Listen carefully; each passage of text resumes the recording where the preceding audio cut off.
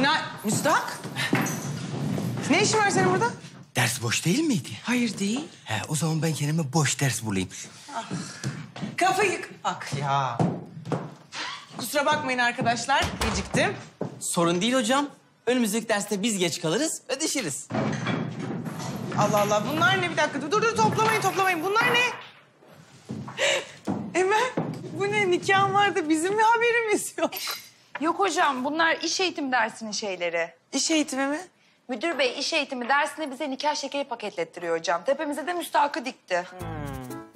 Zaten bu gerçek hayatta ne işimize yarayacak ben hiç anlamadım. Bir dakika bir dakika. Şimdi Şerif Bey size iş eğitimi dersinde nikah şekeri mi paketletiyor?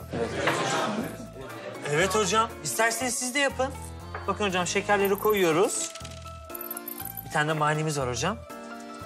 Maniyi de koyuyoruz. Kapatıyoruz. Mani mi? Evet hocam mani. Şimdi her şekerin içinde bir tane de mani oluyor. Bu aynı zamanda edebiyat dersinde çalışmamıza da yardımcı oluyor hocam.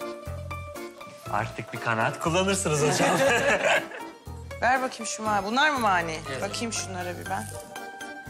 Allah Allah. Çayın ismini, şeker ismini. ha.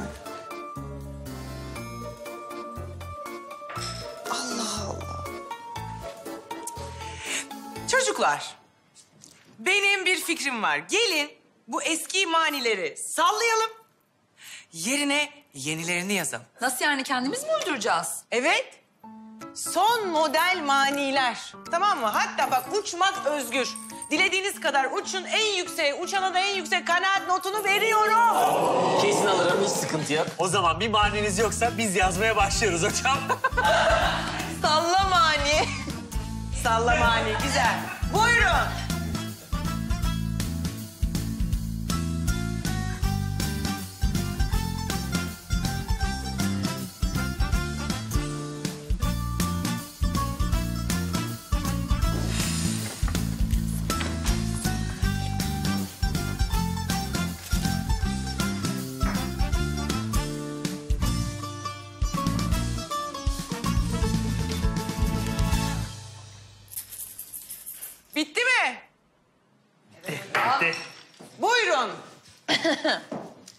Halay başı, halay başı. Bu gelinin çokmuş yaşı. Damat mutlu ama yarın duvarlara vurur başı.